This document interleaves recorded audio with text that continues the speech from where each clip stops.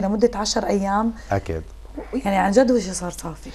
هي الفراولة الفراولة لو إحنا بنجي لو أنتم انتبهتوا صبايا من البداية قشرة الفراولة فيها خشونة شوي يعني نقول مثل البيلينج فهمتي علي كيف؟ هذه الفراولة بتكون طازة كتير مقطوفة لسه وشغالة. فإحنا لما نمسك حبتين بضلوا الخلايا هذا الخشن موجود. فبيعمل هو انت لما بندعك البشرة من الأسفل للأعلى بنعمل بتلاقي البشرة قشرت وبناخذ شغلات كثيره حلوة وبتطلع هيك حمراء وردية كثير كثير حلوة. كمان. يس ناخذ اتصال. ألو صباح الخير. نادية؟ صباح. كيفكم؟ الحمد لله. كيفك أنت؟ البرنامج الحلو؟ حبيبتي تسلمي. من وين عم تحكينا؟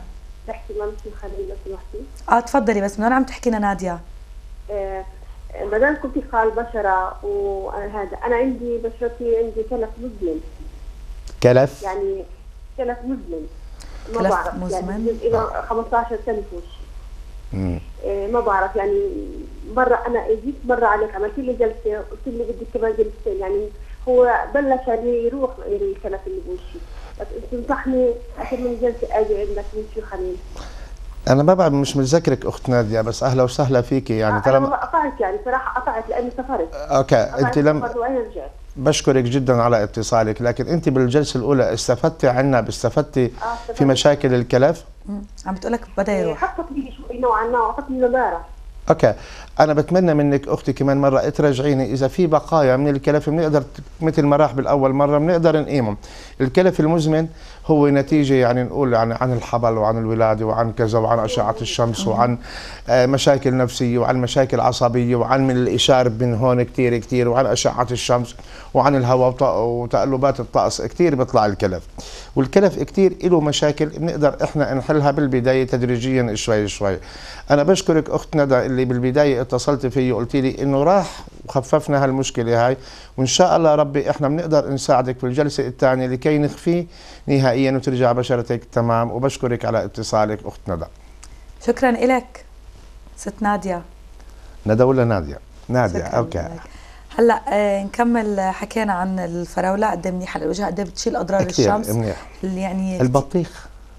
ما بعرف البطيخ. في موسم البطيخ كثير حلو. هلأ قشرة البطيخ أكلناها. إحنا بضل اللب الأبيض بين القشرة الخضراء وال والحمراء. والحمراء. في ظل هذا كثير كثير ستات حتى في مصر. يعني نرجع للأخت منال رحاحله ونرجع لخبراء التجميل أحبائنا في مصر. حتى البطيخ لو مسكنا القشرة هاي ومسحنا فيها البشرة بتاخذ طبقة من الخلايا كثير كثير حلو. في فيتامين.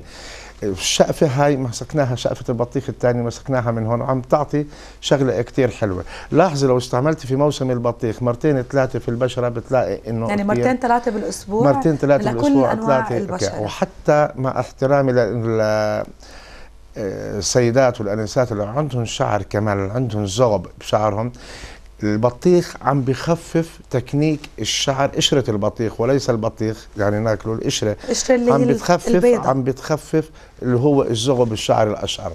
وبدي أنصح شغلة واحدة صبايا إنه التشقير بال chemicals كثير صبايا عم بشقروا وجوههم بتلاقي شوية بودرة وأكسجين وعم بتشقر. البودرة والأكسجين في التشقير عم بتزيد تفاعل ال chemical بين الشعرة والحلمة الشعر وبصيلة الشعر. شقرنا اليوم كتير حلو. عم بتعطيها سماد ولكن مستقبلا بعد شهر بعد شهرين بتلاقي الشعر كثف أكثر وصار عندنا كثافة في الشعر وخاصة في منطقة الشنب ومنطقة أسفل الدقن من التشقير وخاصة السوالف. كتير كتير. فأنا بنصح كل سيدة في عدم التشقير لأنه مادة chemicals موجودة كتير وهي عم تعطي كثير مش مش حلوة للبشره يعني. okay بالبداية بتلاقيها حلوة. شقرنا الشعره من سوداء لشقره ولكن عندنا مشاكلها عم رح أحكي معك في هالموضوع أكيد بس ناخذ نور أحمد. ألو صباح الخير. ألو؟ صباح الخير. كيفك؟ ألو صباح الخير. صباح, صباح النور تفضلي. الله يسلمك أهلين. كيفك؟ الحمد لله كيفك أنت؟ أشكركم على البرنامج الحلو. حبيبتي تسلمي. الله يسلمها يا رب. آه شو بتحبي تسألي مسيو خليل نور؟ آه بدي أسأل الأستاذ إذا في خلطة طبيعية للبشرة للكلف. شو بشرتك؟ دهنية آه، عادية؟ لا عادية بشرة مختلط العادية. هلا بنعطيكي أكيد ماسك على الهواء. خليكي مع مسيو خليل ونشكر اتصالك. شكرا لك يعطيك العافية الله يعافيكي. أهلا. نقول بالنسبة للبشرة الأخت الكلف للكلف عنده طرق مشاكل كثيرة مثل ما حكينا في البداية اللي عندها كلف مزمن واللي عندها بداية كلف تراجع خبير التجميل. مشان نشوف شو بدنا نعطيها. أما بالنسبة أنا مش مصنع ان أنا أعطي خلطات أنا بحكي بالعلم وبطريقة التجربة اللي أنا اشتغلتها بنعطي الوصفات اللي بتعملها. وهذه بالبيت. الكلف زي ما ذكرنا إحنا في البداية إنه طرق بيجي عن تصبغات جلدية من أشعة الشمس من الكلف من الحمل من طريقة شغلات تانية. ولكن إحنا بنقول كيف نحافظ بشرتنا كيف نحافظ على طريقة البشرة وكيف نعطيها اللي نخفي هالاسوداد وهالكلف. شو هو الكلف؟ تصبغات اسوداد هون فاتحة أضرار هون شمس المنطقة. يعني، أضرار الشمس طبعا. سباحة. والسباحة والكلور والكذا والمي ال- ال- الشغلات الثانية ونتيجة الأكل كمان والهرمونات. فإحنا بنقول لك دائما أنت استعملي كمادات باردة عندك بالبيت ولا تحطي يعني شوفي اللي عندك. ما في فاكهة ممتاز ما في فاكهة إلا جيدة وبتعطي للبشرة طبيعة جدا.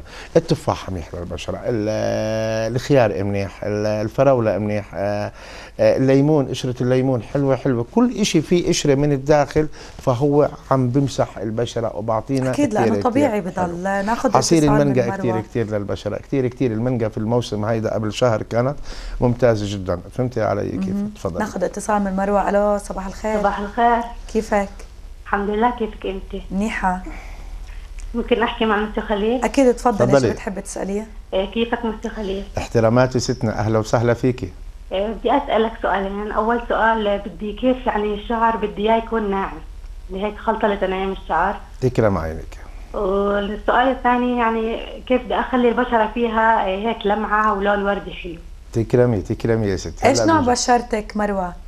هي وسط يعني مش دهنية لا. مختلطة يعني هي. الدهنية من هاي المنطقة ثلاث مناطق شايفتني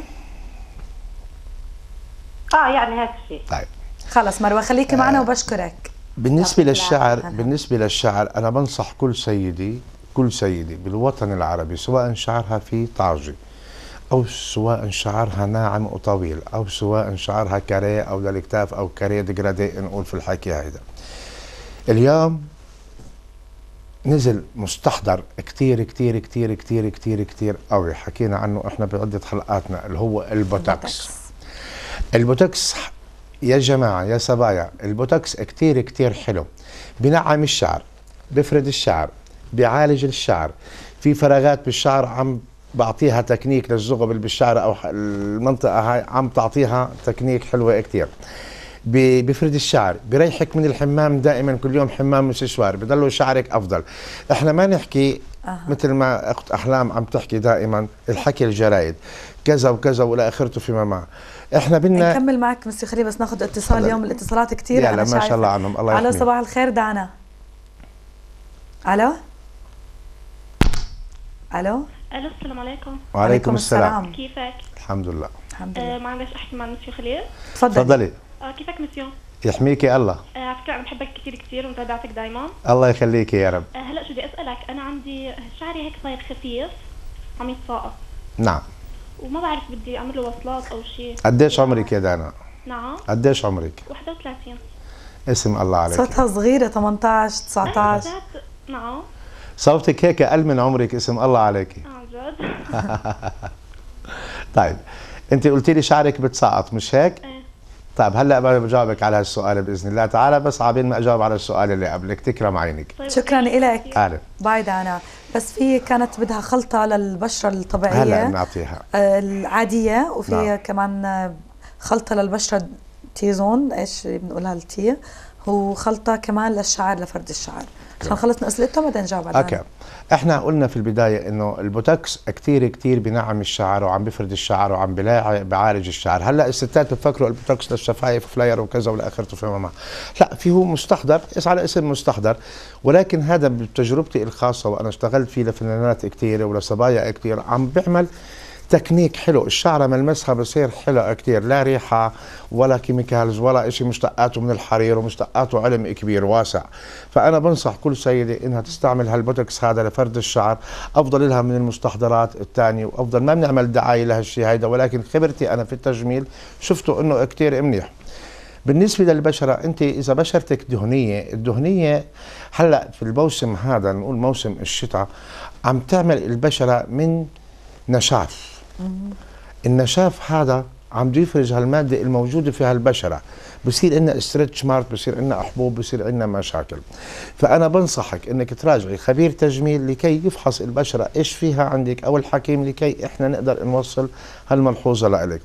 أما خلطة بالبيت ذكرت كتير ذكرت الحليب ذكرت اللبن ذكرت ال- الخيار ذكرت شغلات كتير. كل كل مواد طبيعية لكن اليوم إذا في عندك يا صبية تقيحات والتهابات دهنية كتير.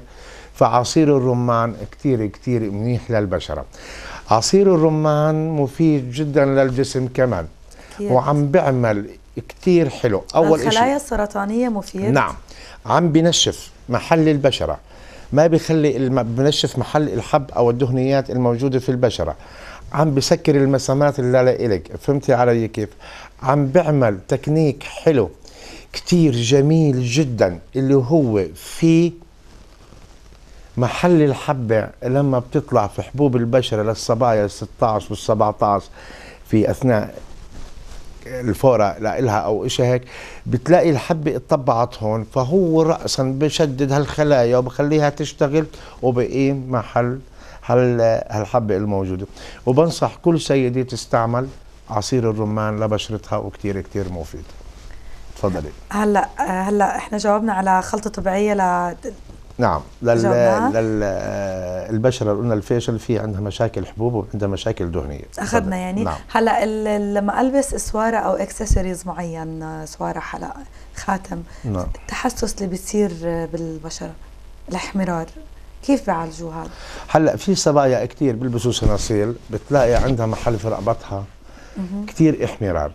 وبتلاقي خط موجود. فهمتي علي كيف؟ وإذا لبست خاتم طبعا مش ذهب يعني لأنه الذهب ما بيعمل حساسية أبداً. حساسية اطلاقا هو هذا معروف.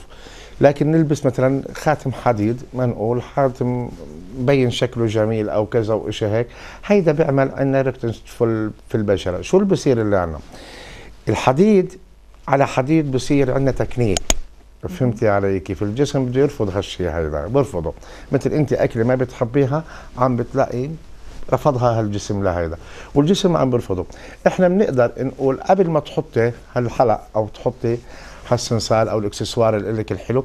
عم تعملي إلك تدهني جسمك كريم مرطب اللي تعمل عازل بين الطبقة هاي والطبقة هاي بين الإكسسوار وبين جسمك. جسمك يعني ما في عندنا بصير عندنا تحسس وما بصير عندنا كذا فإحنا نعمل حاجز بالكريم مرطب للجسم لإلك. تفضل أها. نطلع على فاصل وخليكم معنا نكمل. حلقتنا لليوم. برنامج جيتي بوقتك يا خليل يا ريح. ثواني بس. كيف؟ رجلي راحت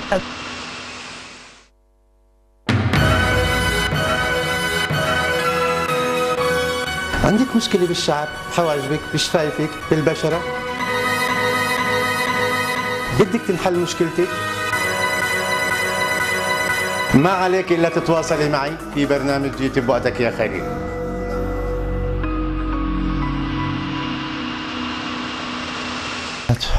ورجعنا لكم مشاهدينا وراح أكمل اليوم حلقتي مع مسيو خليل. مسيو خليل في قبل ما أبدأ حلقتي راح أحكي أرقامك للتواصل معك أرقامك الشخصية اللي هي 07 9 9 5 8 آه لا خليني أعطيهم إياهم. أنا خربطت آه، هيك. لأنه مش مسجلين آه. أرقامي الشخصية صبايا 079 58 77 505 الرقم الثاني 0799 62 92 90 هدول أرقامي الشخصي وأنا تحت. على أي اتصال بقدر أجاوبكم تحت الهواء بإذن الله تعالى